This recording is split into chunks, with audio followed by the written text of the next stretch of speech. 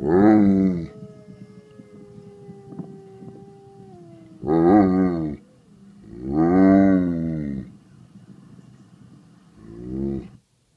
That's all you got? Good boy, Walter.